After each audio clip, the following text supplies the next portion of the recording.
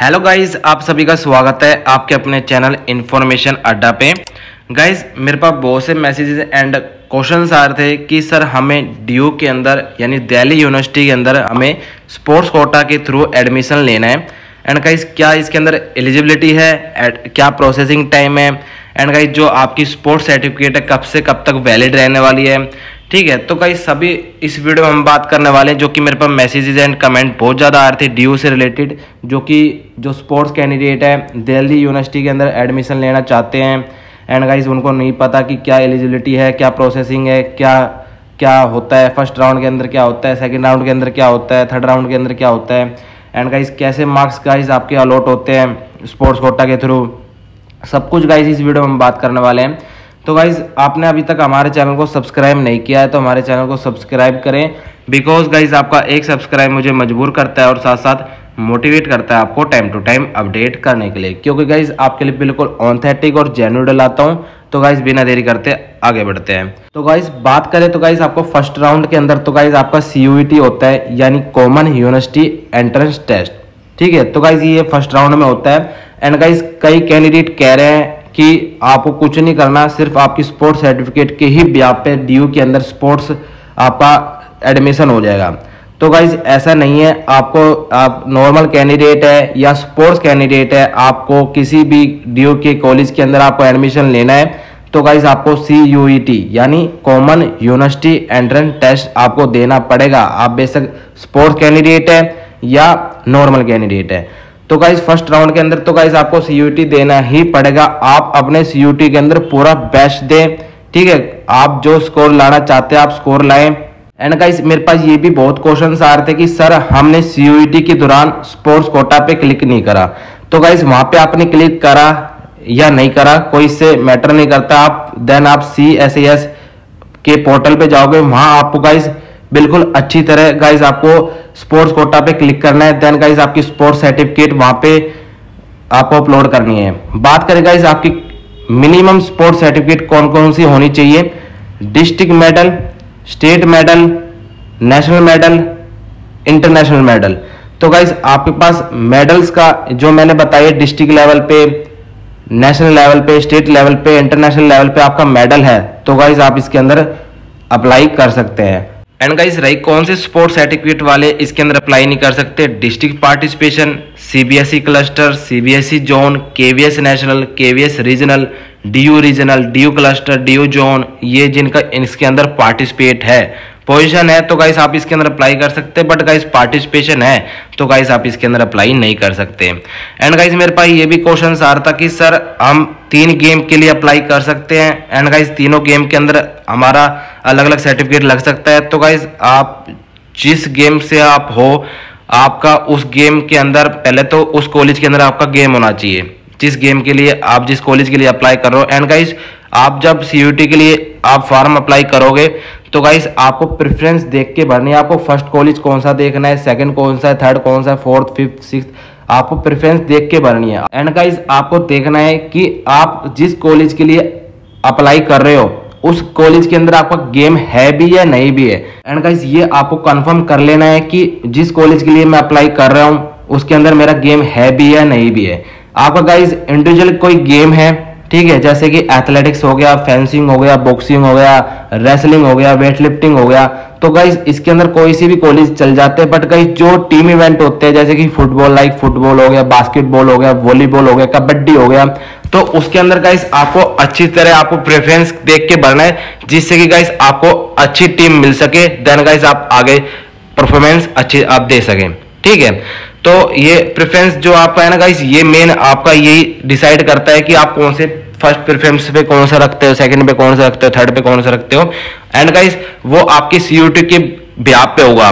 Then guys इसके अंदर आपका स्पोर्ट स्टाइल होगा। जो गाइस आपका सीयूटी के बात करें मार्क्स की तो गाइस इसके अंदर आपके 25 परसेंट आपके सीयूटी के रहेंगे। एंड गाइस जो आपके स्पोर्ट्स के रहेंगे 75 रहेंगे। स्पोर्ट्स के अंदर गाइस आपके स्पोर्ट्स सर्टिफिकेट आपके 25 के रहेंगे। एंड गाइस देन आपके जो स्पोर्ट्स स्टाइल इसके अंदर होगा, आपके फंडामेंटल्स आपके स्किल्स आपकी देखी जाएगी, ठीक है? तो वो जो रहेगा फिफ्टी मार्क्स का रहेगा, ठीक है? तो गाइज़ आपको सीधा अभी पहले फोकस करना है सी पे। ठीक है? आपको पूरा अपना बेस्ट देना है सीयूटी स्कोर आपको करना है पूरा का पूरा। आप जितना कर सकते हो आपको करना है। दैन गाइस आप आगे एलिजिबल होंगे स्पोर्ट्स स्टाइल के लिए स्पोर्ट्स सर्टिफिकेट के ब्याह पे। गाइस इसके अंदर आपको मार्क्स मिलेंगे स्पोर्ट्स स्टाइल के ब्याह पे। गाइस इसके अंदर आप, आपको मार्क्स मिलेंगे। फिर गाइस पूरा ऑल ओवर आपका मेरिट बनता है। फिर गाइस जो आपने कॉलेज आपने फिल किए होते हैं एंड गाइस एंड गाइस उसी हिसाब से गाइस इसके अंदर आपको अलॉट होता है आपका कॉलेज ठीक है? एंड गाइस रही बात मार्क्स की तो गाइस स्पोर्ट्स सर्टिफिकेट की तो गाइस आपको पता लग जाता है। तो गाइस आपको मैं इसी वीडियो के इसी डिस्क्रिप्शन में गाइस आपको लिंक उपलब्ध करा दी जाएगा वो स्पोर्ट्स सर्टिफिकेट का कि कौन कौन सी स्पोर्ट्स सर्टिफिकेट वाले इसके अंदर अप्लाई कर सकते हैं। एंड गाइस आपके पास जो स्पोर्ट्स सर्टिफिकेट है, उसके कितने मार्क्स मिलने वाले ये तो हमें खुद ही पता लग जाता है।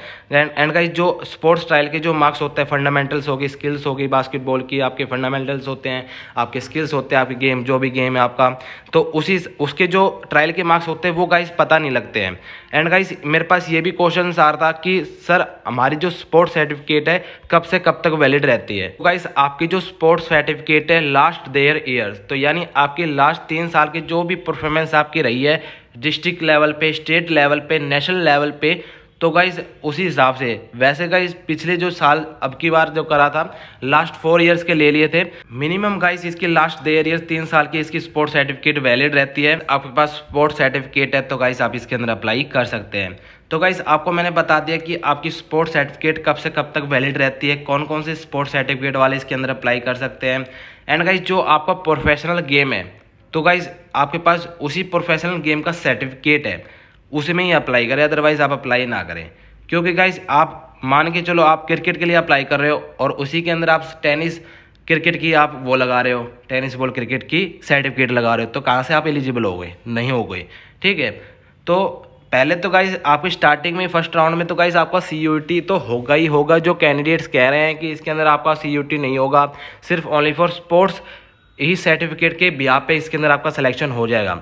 एंड गाइस ऐसा बिल्कुल नहीं है, आपको सी देना ही पड़ेगा। एंड गाइस ऐसा बिल्कुल नहीं है, आपको पहले तो गाइस आपको सी पे बिल्कुल फोकस करना है, ठीक है? बेस्ट स्कोर गाइस जो आप कर सकते हो, वो करना है। देन गाइस आपको आगे की क्रिया मैंने आपको बता दिया क्या क्या गाइस इसके अंदर आपका होना है। एंड गाइस सी के दौरान आपने स्पोर्ट्स ट्रायल पे क्लिक नहीं किया है तो कोई दिक्कत वाली बात नहीं है। आपको सी पोर्टल पे आपको जाना है। एंड गाइस वहाँ पे आपको अपलोड करना है, वहाँ पे आपको गाइस स्पोर्ट सर्टिफिकेट क्लिक करना है। ठीक है? तो गाइस ये जो डीओ की जो ट्रायल्स है, ये भी मेरे पास क्वेश्चन आते हैं सर हम डीओ की ट्रायल्स के लिए कैसे पता करें? तो गाइस इसके अंदर कोई आपको मेल वगैरह कुछ नहीं आता। आपको इसकी सीएसएस पोर्टल पे आपको देखना होता है कि आपको कब, कितने बजे आपको कौन से ग्राउंड में रिपोर्टिंग करनी कितने बजे कब कहाँ। ठीक है? तो ये सारी चीज़ें गाइस सी पोर्टल पर दी जाती है। तो गाइज़ वो भी गाइज़ आपको time to time time to time सरलतापूर्वक ध्यानपूर्वक गाइज़ आपको अपडेट कर दिया जाएगा। एंड गाइज़ आपको मैं दोबारा कह रहा हूँ, जो आपकी प्रेफरेंस है कॉलेज की, वो ध्यान से आपको भरनी है। ठीक है? एंड गाइस आपको पूरा कॉलेज का, जिस कॉलेज के लिए आप अप्लाई कर रहे हो, पहले तो गाइस आपको उस पर पता कर लेना है कि इस इस कॉलेज के अंदर मेरा गेम है भी या नहीं भी है सीट है भी या नहीं भी, ये चीज़ें गाइस सारी आपको पहले ही पता कर लेनी है। एंड गाइस आपको पूरा ड्यू का एडमिशन का स्पोर्ट्स कोटा का पूरा डाउट क्लियर हो गया होगा। तो गाइस जो अफवाह फैल रही है कि आपके स्पोर्ट्स कोटा के थ्रू ही एडमिशन हो जाएगा। तो गाइस इस अफवाह से बिल्कुल दूर है। आपकी सीयूटी आपकी मेरिट बनेगी। एंड गाइस जो नॉर्मल कैंडिडेट स्पोर्ट्स अब नु कहेंगे कि कहीं सर हम, जो नॉर्मल कैंडिडेट है स्पोर्ट्स कोटा के थ्रू हम खेलना चाहते हैं। आप, आपका एडमिशन हो गया। हाँ गाइस आप एडमिशन आपने सी के थ्रू ले लिया है, ठीक है? एंड गाइस आप बाद में गेम करना चाहते हैं तो गाइस आप कर सकते हैं। कोई इसमें मना ही नहीं है, कोई कॉलेज नहीं कहता कि आप इसके अंदर ना खेलें। बट गाइस ये कंडीशन होती है कि आपको देखता है कि कोच भाई, ये गेम इस गेम के लिए अच्छा है भी या नहीं। ऐसे नहीं घुसा देते कि भाई, तू भी खेल ले, तू भी खेल ले। पहले गाइस इसके लिए ट्रायल होता है, आपको पूरा पहले परखा जाता है कि आप इस गेम के लिए लायक है भी या नहीं भी, ठीक है? तो जो नॉर्मल जो कैंडिडेट इसके अंदर अप्लाई करना चाहते हैं, वो सीयूटी से भी उनका सिलेक्शन हो जाता है। ठीक है तो गाइज़ आप जो स्पोर्ट्स कैंडिडेट है या नॉर्मल कैंडिडेट है, पहले तो गाइज़ आपको सीयूटी ही निकालना पड़ेगा।